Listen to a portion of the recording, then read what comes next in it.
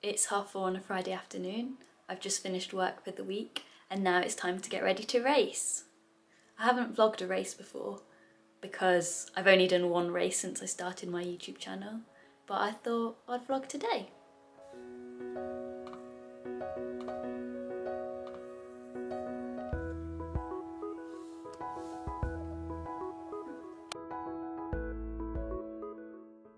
For dinner I had some pasta, which is the perfect pre-race food. Then I had to get my bike ready, so I started by oiling the train. I already had my number because I'd raced the previous round and you keep the number for the whole series. I'm not sure what happened here, but I got covered in tyre sealant. I just got a face full of tyre sealant, which was not good. The last job was pumping up the tyres.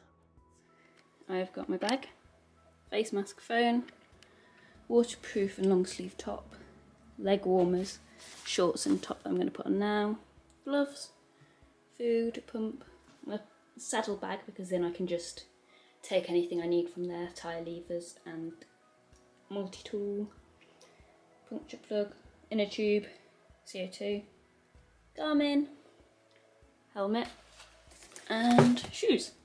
And then it was time to go. We left about half five in the end for a 7.15 start. It got darker and darker and started raining as we got closer to the race, which is why I didn't film any of the warm-up. I prefer photos of races rather than videos, so my dad mainly takes photos. This was the start. This was on the first lap towards the finish line. There was one part that was very bumpy.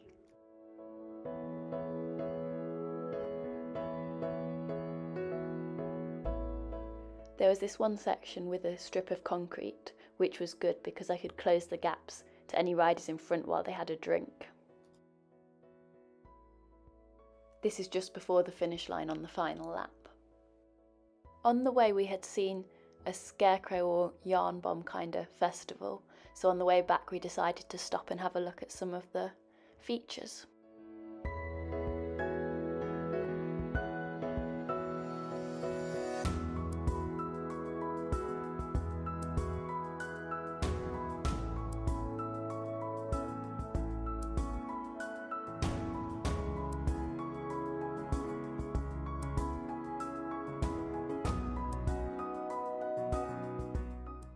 It is quarter to ten. We've just got back because we stopped to look at some of the scarecrows and also then we got stuck in traffic on the motorway.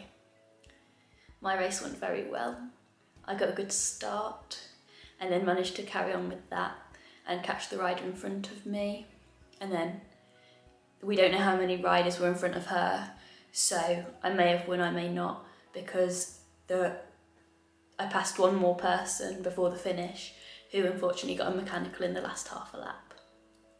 So we'll wait and see for the results. And then I had some cake to celebrate. This is strawberry marble cake. The results are in, and I did in fact win, which I'm really, really happy about. So I thought I'd do a quick race review. I started on the front row and got a really good start. And then it kind of settled down with what would have been two riders in front of two ladies in front of me and a couple of the youth because we start with the youth. I stayed with one rider still in sight, so I chased them down and probably maybe just before the end of the first lap I caught them, or it might have been the second lap, I can't quite remember. And then I kept pedalling, pushing hard, uh, and overtook some of the vet riders. And then I think I did four laps in the end, and on the penultimate lap, I caught up with one of the youth riders that I had started behind. So that was really positive because it meant I knew I was either getting faster or they were getting slower, but it meant that I was still chasing hard. And then I'm not sure how far behind the leader I was, but on the last lap she unfortunately got a mechanical, so I managed to overtake her without the lap timings of her, I reckon I was about 30 seconds down with one lap to go and was chasing pretty hard because my dad was telling me she wasn't far in front of me. So I might have caught her anyway, but it's just an unfortunate and badly timed mechanical. Apparently a pedal fell off. But yeah, I'm really happy with how I rode.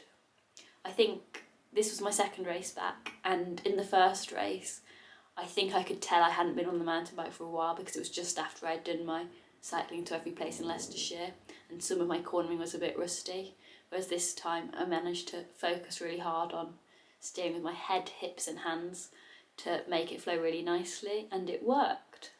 I hope you enjoyed this video. If you did, please give it a big thumbs up and subscribe to my YouTube channel and let me know if you want to see any more race day vlogs.